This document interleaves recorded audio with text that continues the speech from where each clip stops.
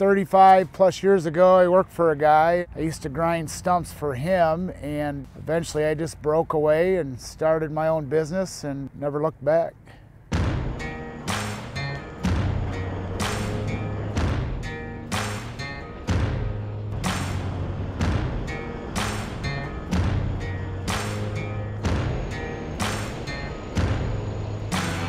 Had just one crew and then we started another crew. We started generating so much waste and had a need to get rid of that waste, so we got into the mulch business. And in the beginning, I didn't own Bandit products because I had to start from the bottom. And about 12, 13 years ago, we bought our first beast grinder and it's been a great relationship ever since.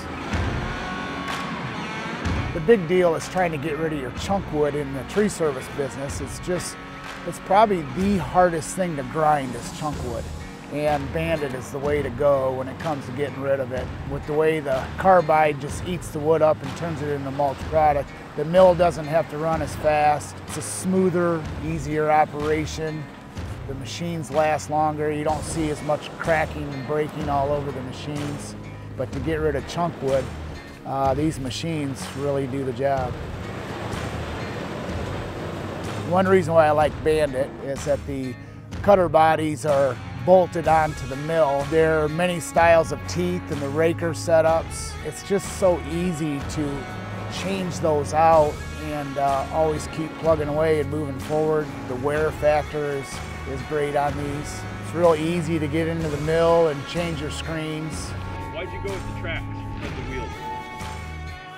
the track machine is just so versatile when it comes to muddy areas and getting the machine to the product so you can get rid of it. It's just the way to go.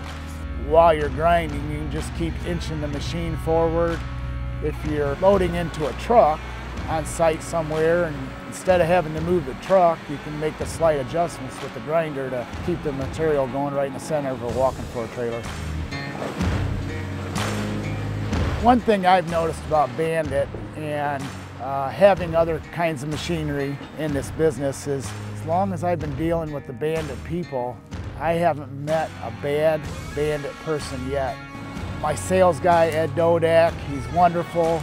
Somebody wondering uh, if Bandit's a great product, they really should just do their homework, find out from other Bandit people, give me a call. I've owned other machines. I have friends in the business and uh, I've seen them switch over and if you don't do your homework, you'll eventually find out if you own a different brand, that's for sure.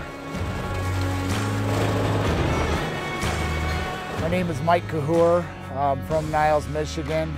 Uh, owner of Kachur Tree Service. Been doing trees for about 31 years.